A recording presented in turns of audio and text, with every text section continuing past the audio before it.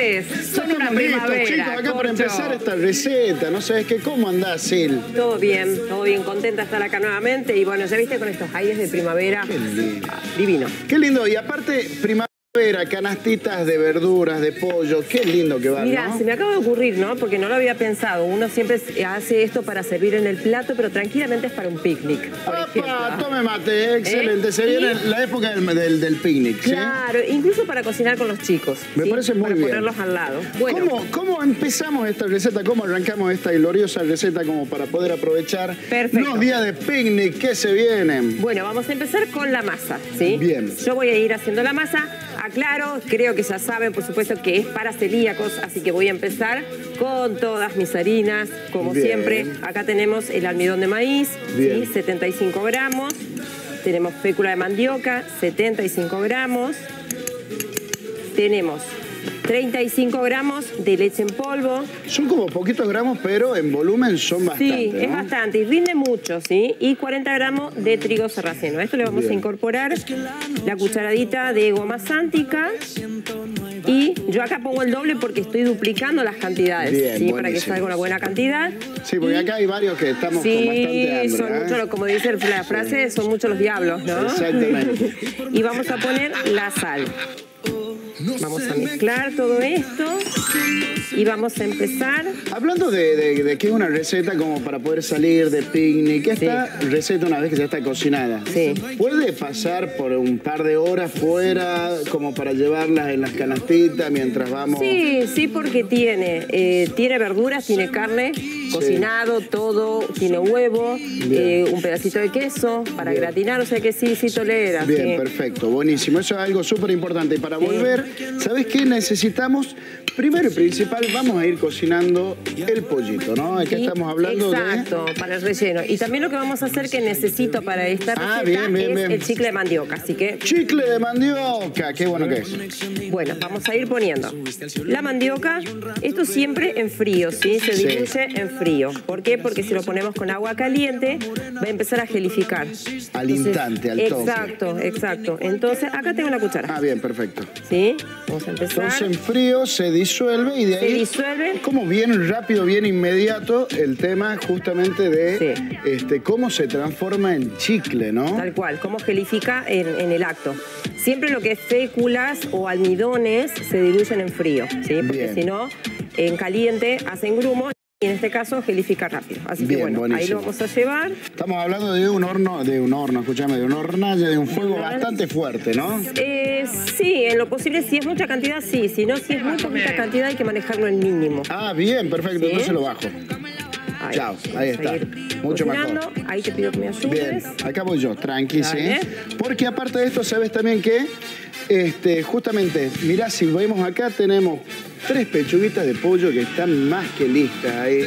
Ya están durmiendo en ese jacuzzi ahí, mirá, tranquilito. Que eso es algo importante también que te quería mostrar, que ves toda la espuma que hay ahí arriba, eso es impureza. Entonces, está la popular espumadera. Ahí agarramos ese gran artefacto que tenemos en la cocina, ¿sí? que parece como una cuchara agujereada. Y con ese le sacamos toda la espumita y estamos sacando todas las impurezas que caldo. tiene el, el pollo. Después vas a ver que si querés un caldito con ese pollo, y decís, ¿sabes qué? No lo quiero con tanta grasa. Al caldito ese, ¿sabes qué vas a hacer? Lo vas a justamente poner en la heladera que enfríe un toquecito y de ahí toda la grasita va a quedar arriba. Claro. La sacás y va a quedar súper, pero lo súper. para otras Mirá, dos minutos me colgué y mirá qué ha pasado acá. Ya empezó a, a enchiclarse esto, mirá.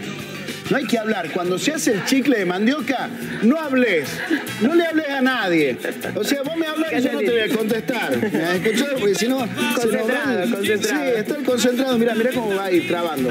Trabando, trabando. Es como que fue al gimnasio. Esto es un toque.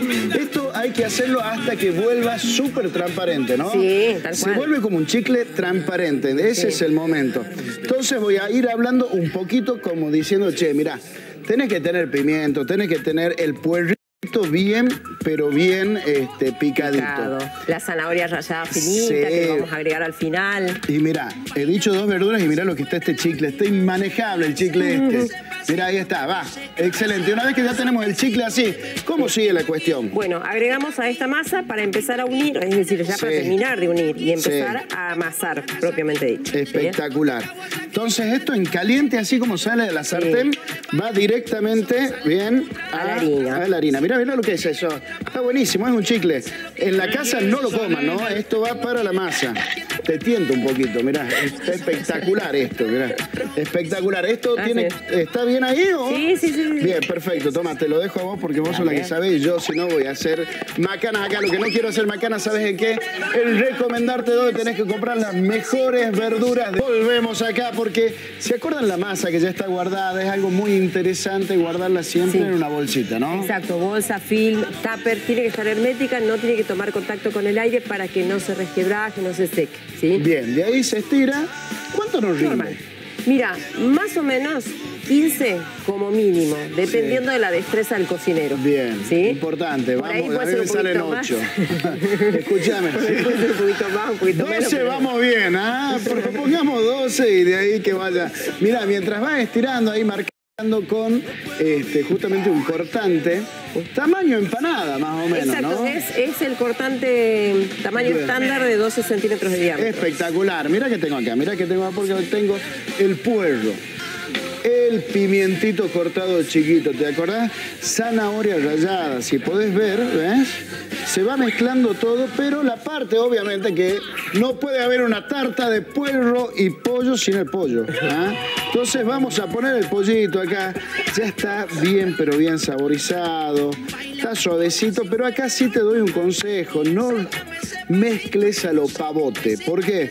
Porque se va a volver este, hebras. Cuando trabajas con pechuga, se cocina, se puede desarmar. Entonces, es movimientos envolventes, ¿sí? De a poquito, bien, para que quede bien integrado. Eso es importante para que después no quede una pasta toda desmenuzada. Mira la maestría con que está armando ya las canastitas, ¿no? Así es, acá vamos armando las canastitas ya. Estas van crudas, ¿sí? Bien. Crudas directamente, entonces vamos armando ahí y le vamos a colocar el relleno, ¿sí? No hace falta una precocción, No, es decir, tengo no, que no, poner... no, no, porque es una masa tan finita Sí. que con el tiempo de horneado es suficiente. Es suficiente, va todo muy bien. No hace falta más. Excelente. Integramos acá el resto del pollito y seguimos dando vueltitas acá para que quede bien, pero bien, pero falta un ligante acá, ¿no? Así es, falta el huevo que hay que colocarle porque si no, cuando vos eh, vas a, a comer, se va a desarmar. ¿Me entendés? Bien, huevo y 500 gramos de manteca. No, mentira. No. Me va a matar la nutricionista acá a la, a la par. Solamente, escúchame, ¿cuántos huevillos Y vamos recomendables? 3, a 4 huevos aproximadamente. Vamos a ir probando. Siempre algo interesante que traten de cascar los huevitos afuera. ¿sí? Por Sí. si hay uno que está mal, ¿qué va a pasar? No te va a arruinar todo el menjunje este que tenés, ¿sí? Eso Además, además, porque muchas veces cuando uno rompe en el recipiente caen cáscaras. Exactamente, muy bien. Y las cáscaras de huevos no son comestibles, chicos, así que mucho cuidado con eso. Tiene que quedar húmedo, pero no nadando así Claro. en, líquido, ¿sí? Porque tiene, tenemos que tratar primero, probar con tres, con los movimientos estos envolventes, seguimos con las ganas de no romper el pollito, que no quede hecho un pule, eh, este, un pule de pollo, eso ah, que claro, se desmenuza, sí, ¿no? como des- eh, claro, como el como Desmechado, pork, como el claro. pork. Pero en vez de pork, chicken, ahí está, mira. exacto. Qué Bueno. bien que está, pero está bien, bien, bien. Esto ya tiene sal, se, le- se lo cocinó. Yo al puerro y al pimiento, nosotros le pusimos sal ahí. Bien, Entonces, ojo, no le vayamos poniendo sal todo el tiempo porque sí es medio complicado y después cuando se pasa de sal no podés eh, salvarlo. Exacto, y además le vamos a poner queso después. O sea que ahí también tome, tome compensamos de alguna manera. Mira que ¿sí? tenemos acá también magia de la televisión y magia de Sil Burgos que avanzó unas canastitas más. Sí, ¿Cómo vendría a ser el armado? Bueno, el armado es simplemente con cuchara, Acá hay una cuchara. ¿sí? vamos a ir colocando. No tienen que llenar demasiado, Bien. ¿sí? Para que... Para que entre después el quesito. ¿Sí? Claro, exacto. Entonces vamos a ir colocando ahí. No, tremendo esto. Ideal para un día de campo, cuando vos decís día de campo con unas canastitas. Ya lo veo al túnel o al avero saliendo con las canastitas en medio de la pradera. Me mató el día de campo. ¿Te ir? Claro, el viernes para el fútbol, ¿entendés o no? Esto no marida bien con cerveza, chicos, así que no sé si lo van a poder llevar. un vinito va muy bien con esto. Escuchen una cosa. ¿Cuánto tiempo más o menos en el horno? En el horno, horno máximo, sí, porque lo único que se cocina, o sea, se tiene que cocinar el huevo crudo, ¿sí? Pero la masa, esto aproximadamente 10 minutos máximo. Listo, fantástico. Horno siempre precalentado.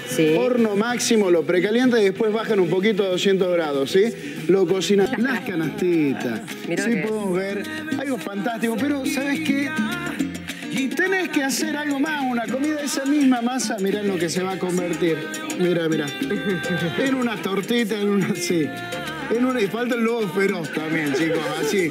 Escuchen, ¿cuánto tiempo? Unos 15 minutos, 20 minutitos. La tarta ya está lista. Dos opciones fantásticas, una de camping y otra para la casa. Así que sí, muchísimas gracias. Por favor. Ensaladaza la que presentaste. Pero ahora, ¿sabes qué?